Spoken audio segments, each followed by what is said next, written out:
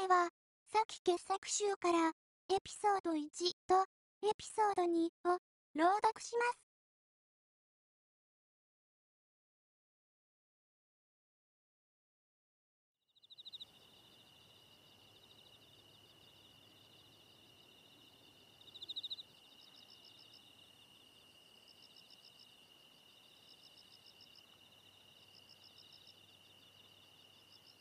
おばはすぐに降りてまいりますわナトル様。とまだ15歳の若さだが極めて落ち着いた娘は言った。それまで私のお相手で我慢していただきます。フラムトン・ナトルは後から来る彼女のおばをむやみにないがしろにもせずまたこの命を適当に嬉しがらせるような言葉を見つけようと苦労した。こうして次から次へと見も知らぬ他人の家を訪問するのが自分の神経症の治療に本当に役に立つのかどうか腹の底で言い深った。彼がこの田舎へ引っ込む準備をしているのを見て姉は「およその見当はつくわね」というのだった。話し相手らしい話し相手もいない片田舎に埋もれてしまい気落ちして病気が悪くなるのが関の山よ。だけどとにかく私の知人にはみんなに紹介状を書くわ。中にはいい人だっているわよ。これからその紹介状の一通を手渡すサプルトン夫人がそのいい人の中に入るのかどうかフラムトンには分からなかった。この近所にお知り合いがたくさんあるのですか？とあんまり長い間黙り込んでいたので気がとがめて目が尋ねた。一人もないんです。4年ほど前に僕の姉がこちらの牧師館に滞在してましたので紹介状を書いてくれたんです。後悔の気持ちを最後の言葉にはっきりとにじませながら彼は言った。それじゃあおばのことは何も知らないんですね？と大人びた娘は追い打ちをかけてきた。お名前とご住所だけです。と彼は認めた。サプルトン夫人に現在夫があるのかやもめなのか彼はいぶかった。いわく言い難いこの部屋の様子にはどこか男性の存在を暗示するものがあった。ちょうど3年前おばは大きな悲劇に見舞われました。あなたのお姉さんがいらっしゃった後ですわ。と娘は言った。悲劇ですって？とフラムトンは聞き返した。こんな平和な片田舎に悲劇などおよそお門違いに思えたからである。10月の夕暮れ時に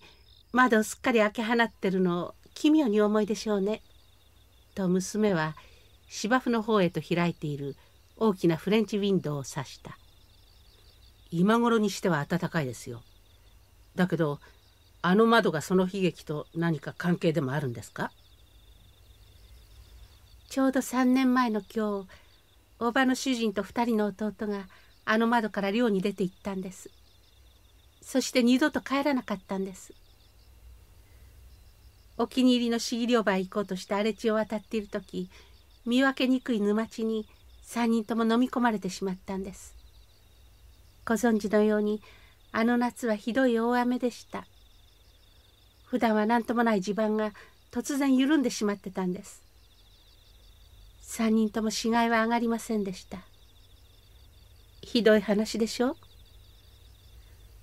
ここまで話すと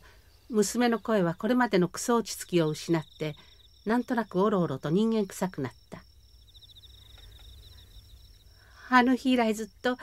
あの3人とくっついていって行方不明になった茶色のスパニエルの子犬が一緒に戻ってきてそれまで通りあの窓から入ってくるものとおばは信じきってるんですよ。夕方から暗くなるまでだからあの窓を毎晩開けっぱなしておくんです。みんなが寮に出かけた時の様子をおばはよく話して聞かせました。おじはレインコートを腕に引っ掛け末の弟のロニーはおばが勘に触ると言って嫌がるのでいつも嫌がらせに歌う「バーディーなぜ跳ねる」を歌いながら出て行ったんです。こんなひっそりと静まり返った夕方などみんながあの窓から戻ってくるんじゃないかと思うと背筋がぞっとするんですよ。言いさして娘はかすかに身震いした。その時遅くなった言い訳をしきりに繰り返しながら彼女のおばが姿を現したのでフラムトンは救われた心持ちだった。ベラがお相手で退屈なさいませんでしたでしょうか。と彼女は微笑んだ。いえ、とても面白く時を過ごしました。とフラムトンは答えた。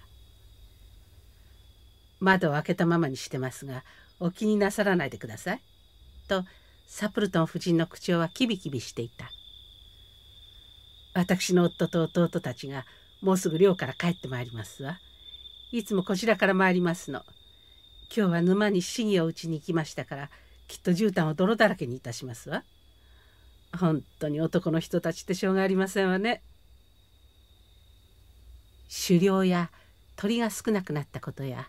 冬のカモ漁のことなどについて彼女は楽しげにしゃべった。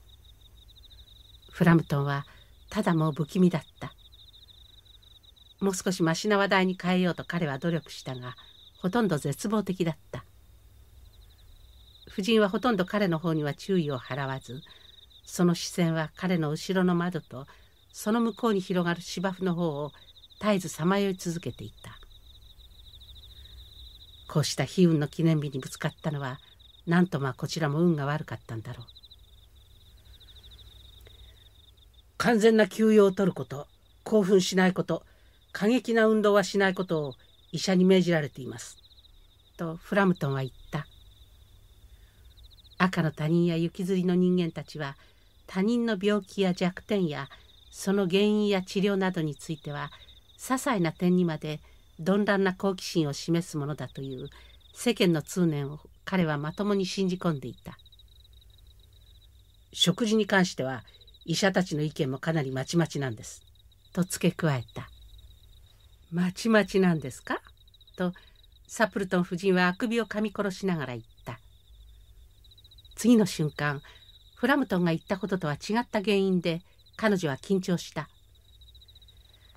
やっと帰ってきましたわ。と彼女は叫んだ。お茶の時間に間に合ったわ。だけどまあ顔まで泥んこになって。フラムトはかすかに身震いして同情に満ちた視線を目の方に向けた。彼女は恐怖のためにうつろになった目で窓の外を見つめながら立ちすくんでいた背筋の凍りつくような恐怖に襲われてフラムトンは椅子にかけたまま窓の方を振り返ったくれなずむ夕闇の芝生を三つの人影が窓の方へ近づいてくるところだった。全員が銃を小脇に抱え天津さえ中の一人は肩に白いコートをかけていた。褐色のスパニエルが疲れ切った足取りでまつわるように歩いていた。一行が音もなく建物のそばまで来た時若いかすれた声が「バーディーなぜ跳ねる」を夕闇の中から歌い始めた。フラムトンは帽子とステッキをわしづかみにした。玄関のドアも門までの砂利道も門そのものも慌てふためいて逃げていく彼の目には映らなかった。前から来る自転車は衝突を避けようとして生垣に突っ込んだ「やっと着いたよ!」と白いレインコートの男が窓から入りながら声をかけた。泥だらけになったが大方乾いちまった誰だい？あの逃げてったやつは変な方よナトルさんとか言うんだけどご自分の病気のことしか話さないの。あなたたちがやってくるとさよならも言わずに逃げ出していったわ。まるで幽霊でも見たかのようだったわ。スパニエルのせいよ。と目は穏やかに言った。犬が大嫌いなんですって。ガンジス川の岸辺かどこかで野良犬の群れに襲われて儚に逃げ込んだことがあるんですって。頭上で野犬が吠えたりうなったりよだれを垂らしたりしている掘ったばかりの墓穴の底で一晩過ごしたそうよ。神経がおかしくなるのも当たり前だわ。彼女の特技は即座に話を作り出すことであった。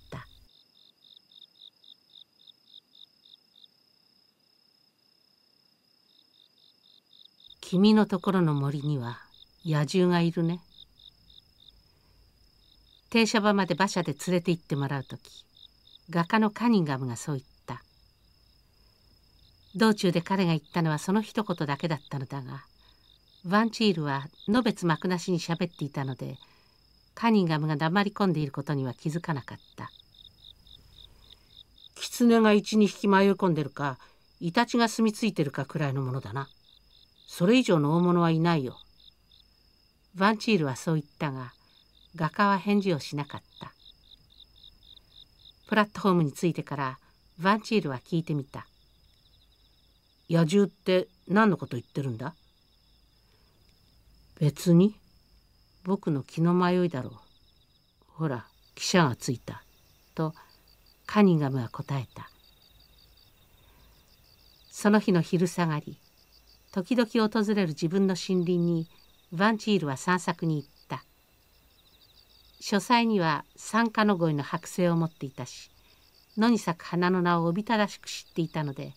彼のことを大生物学者とおばが言うのも道理だった。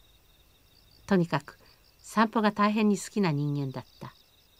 その上散歩しながら目についたものは何でも記憶に留める習慣を持っていたが別にそれは現代の科学に役立てようというよりもむしろ後で話の種にしたいからであった。釣り鐘水仙が咲き始めるとみんなにそれを告げた。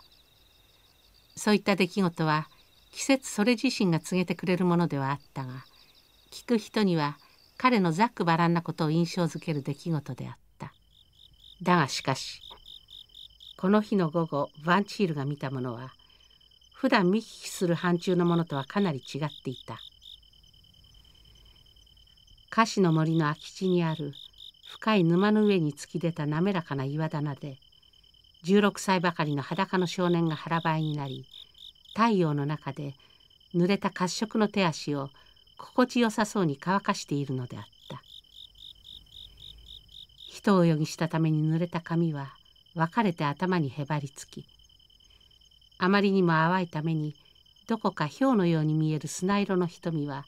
気だるそうにワンチールを見守っていた。その光景があんまり思いがけなかったので口を聞く前にヴァンチールは自分が普段とは違った考え方をしていることに気がついた。一体この野生の少年はどこから忽然と現れたのであろうか。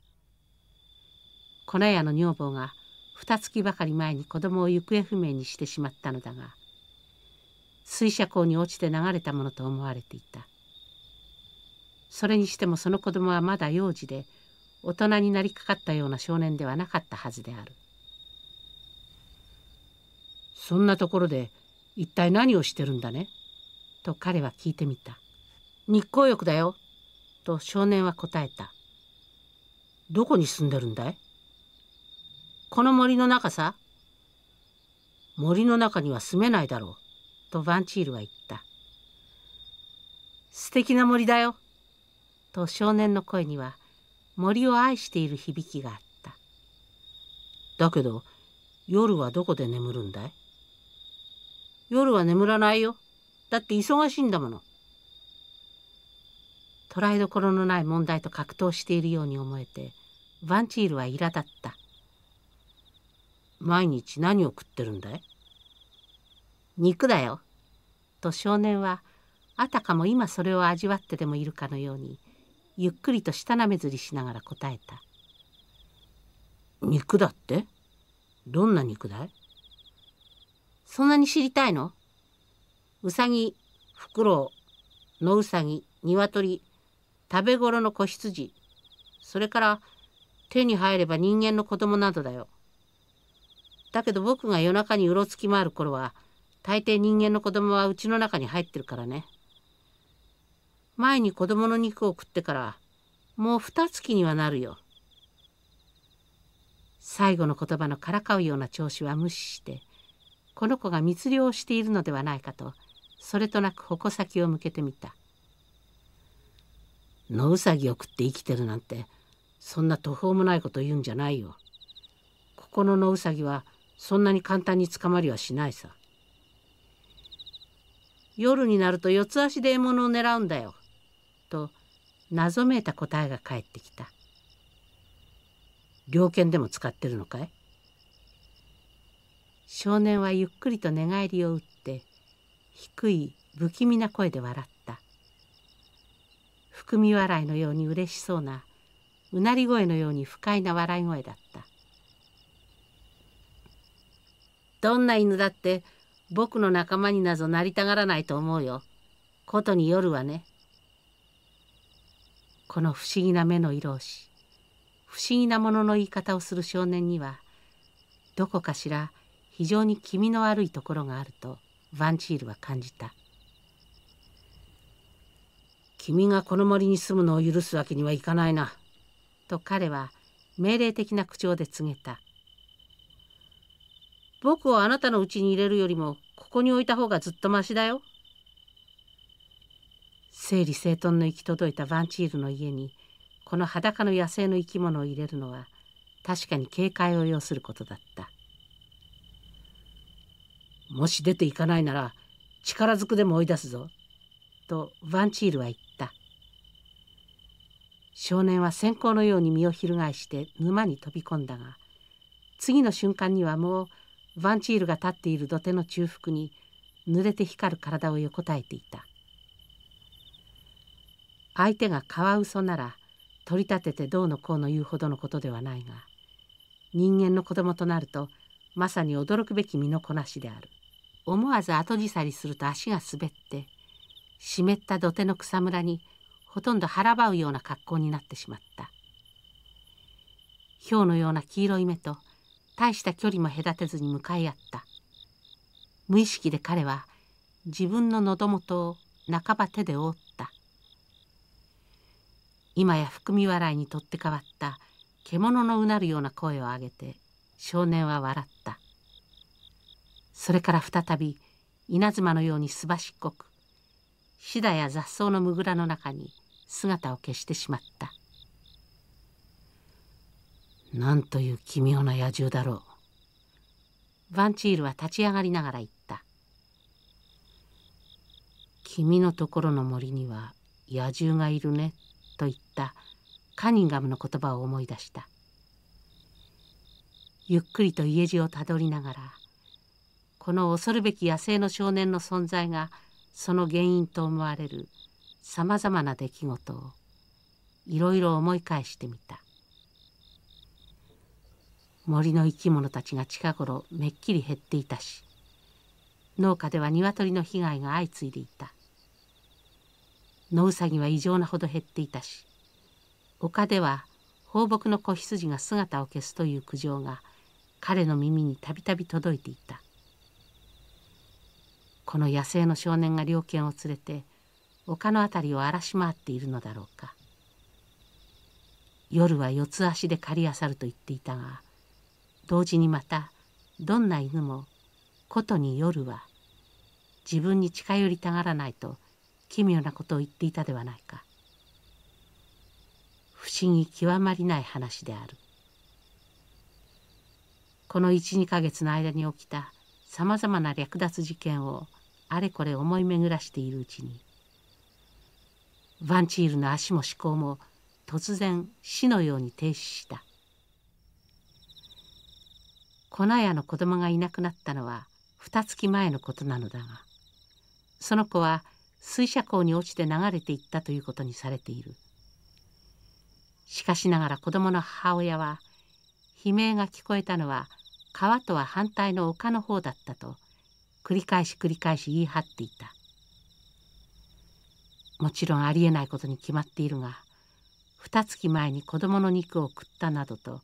薄気味悪い話を少年に聞いたことを彼は悔やんだ。たとえ冗談にしろああした恐ろしい話はするべきではないのだ。普段と違ってヴァンチールは森で自分が見た出来事を人に話す気になれなかった。教区のカウンセラーであり治安官でもある自分の身分がこうしたうさんくさい少年を自分の所有地にかくまっているという事実によって少しばかり傷つけられるように感じたのだ。盗まれた子羊や鶏の損害賠償の多額の請求書が玄関の戸口に置かれないとも限らなかった。夕食の席上で彼はいつもと違って黙り込んでいた声も出ないのかい？まるで狼でも見たかのようじゃないか。おばが古い決まり文句を言った。その決まり文句を知らなかったワンチールはその表現を馬鹿げていると思った。もし自分の土地で狼に出会ったりしたら彼の舌はその話で忙しい思いをするに違いなかった。次の日の朝食の席でも前日の出来事に対する不安がすっかり消えてないのを感じて礼拝堂のある隣町にカニンガムを汽車で訪ねて森の中の野獣という表現を使ったのは一体何を見たからなのか尋ねてみようとヴァンチールは考えた。そう決心すると普段の快活さもある程度戻ってきて習慣になっているタバコを吸おうと居間に行きながら彼は軽快なメロディーを口ずさんだりした。だがしかし居間に入った途端メロディーは敬虔な祈りにとって変わった。長い椅子の上に優雅に体を伸ばしほとんどこれ見よがしにうつ伏せになっているのはあの森の少年だった前に見た時より体は乾いていたが別に何か身にまとっているわけではなかったなぜここに来たんだ？とヴァンチールは怒った。森にいてはいけないって言ったじゃないか。と少年は冷静だった。だけどここに来いとは言ってないよ。おばにでも見つかったらどうするんだ。破局をできるだけ防ぐためにこの招かれざる客をできるだけ隠そうとヴァンチールは新聞紙で急いで彼を覆った。その瞬間におばが入ってきた。この子はかわいそうに道に迷った上に記憶も失ってるんです。自分が誰だかどこから来たのか何も覚えてないんです。これまでにもいろいろと野蛮な言動を見せて並行させられているのにさらに勝手なことを言い出しはしないかと恐れてこの宿なし少年の顔を愛玩するように盗み見ながらヴァンチールは絶望的な気持ちでおばに説明した。独り者のおばは非常な興味を示した。下着に名前でも書いてないの？下着なんかとっくの昔なくしてますよ。と言いながらヴァンチールは新聞紙がずり落ちないようにその端をしっかりと握りしめた。迷子の猫か捨てられた犬かなんぞのように宿なしの裸の少年はおばの慈悲心をくすぐった私たちにできるだけのことはしてやりましょうよ。と彼女は決意を述べた。給仕を置いている牧師館に使いの者がやられ給仕の服やそれにつきもののシャツや靴やカラーなどを持ってすぐに帰ってきた。風呂に入れられ身じまいを整えて服を着せられるとヴァンチールの目から見ればいまだに不気味に見えるけれどおばの目にはなかなかの美少年と映った本当の名前がわかるまで何か仮の名前をつけてやりましょうよ。ゲイブリエル・アーネストというのはどうかしら？うってつけの名前だと思うわ。ヴァンチールは同意したものの果たしてこの清らかな名前がうってつけの相手につけられたのかどうか密かに疑った初めて少年が入ってきた時もう長くこのうちに住み着いているスパニエルの老犬が家から逃げ出して果樹園の片隅に逃げ込み吠え震えながら出てこようとせず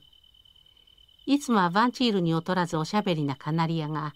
わずかにこわごわと泣いているという事実を見て彼の恐怖は消え去らないのだった。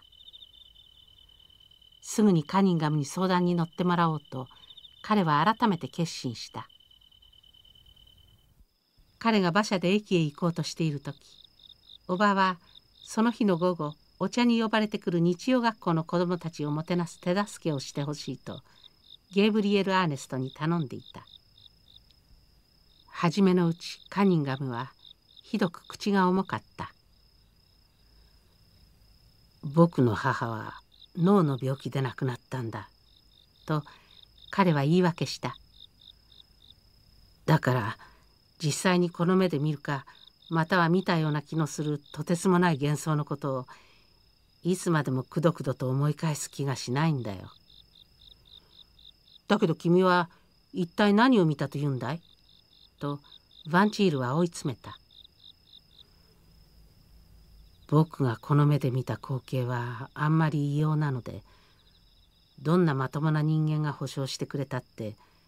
実話だとは信じてもらえないと思うよ。君の家にいた最後の日果樹園の門に続く生垣の陰で僕は夕日が沈んでいくのを見ていたんだその時丘の斜面の草の上に立って裸の少年が夕日を見ているのが不意に目についたんだ近くの沼ででも泳いできたんだろうと僕は思ったんだよその格好がギリシャ神話の半獣神にあまりにも似てたので僕はすぐにでもモデルを頼みたいと思ったんだよ。そのままだったら次の刹那きっと声をかけてたに違いないのだがちょうどその時夕日が沈んでしまったんだ。オレンジ色やバラ色の光はかき消えて風景は冷たい灰色に変身した。まさにその時驚くべきことが起きたんだ。少年の姿が消えてしまったんだよ。なんだって？消えてしまったんだって？とヴァンチールは興奮して叫んだ。いや話はまだ終わってないんだ。と画家は言葉を続けた。ほんの寸前まで少年が立っていた丘の上に大きな狼がいるじゃないか。毛並みの黒い牙の光った残忍な砂色の目をした。おそらくあの少年はヴァンチールは考え込むなどという悠長なことをしてはいなかったすでに駅に向けて全速力で駆け出していたおばに電報を打つなどという思いつきはすぐに捨てた。ゲーブリエル・アーネストは狼人間だぐらいの表現で他人を納得させることなどどうしてできよう。おばはキーになる言葉を書き忘れた暗号伝聞とでも思うに決まっている。唯一の希望は日の沈む前に家に帰り着くことだった。たどり着いた駅で雇った馬車は沈んでゆく夕日に照らされてバラ色や薄紫に染まった田舎道を腹立たしいほどのろのろと進んでいった彼が家に着いた時おばは食べ残したジャム付きのケーキを片付けているところだった「ゲーブリエル・アーネストはどこにいるんです」と彼はほとんど叫んでいたトゥープ家の子供を送って出て行ったところよ。あまり遅くなったので子供を一人で返すのは危ないと思ったの。まあなんという美しい夕日でしょう。西空の輝きが嫌いなわけではなかったがヴァンチールはその美しさを論ずるためにそこにとどまってはいなかった。立ち止まろうとしても立ち止まることもできないほどのスピードでトゥープ家に通じる細い野道を彼はかけた。片側を水車用の急流が走りもう一方の側には斜めに高まっていく草原が続いていた刻一刻と沈んでいく夕日の赤い湖はまだ地平線上に残っており次の角を曲がれば彼が追っかけているこの何とも取り合わせの悪い二人の姿が見えるはずであった。だがしかし風景はたちまち色を失い灰色の夕闇が打ち震えながら辺りを素早く覆っていった。凄まじい恐怖の叫び声を耳にしてヴァンチールは思わず足を止めた。その時以来トゥープ家の子供とゲブリエル・アーネストの姿を見かけた者は誰もなかった。ただ校舎の衣服が道端に脱ぎ捨てられていたので子供が川に落ちたのを少年が救おうと裸になって川に飛び込んだが助けることができなかったのに違いないということに話は落ち着いた。衣服が見つかったすぐ近くで凄まじい子供の悲鳴が聞こえたことをヴァンチールとその時近くにいた数名の労働者が証言した。他に11人も子供を持っていたトゥープ家の夫人は子供を失っても諦めがついたけれどヴァンチールの叔母の方は不老少年を失ったことを心の底から悲しみ嘆いた。ゲーブリエル・アーネスト。勇敢にも他人のためにその命を捧げた無名の少年と書いた聖堂の記念碑が教区の教会の庭に建てられたのは叔母の発案であった。他のことならほとんど叔母の言うことを聞くヴァンチールもゲーブリエル・アーネストの記念碑のために献金することだけは頑として応じなかった。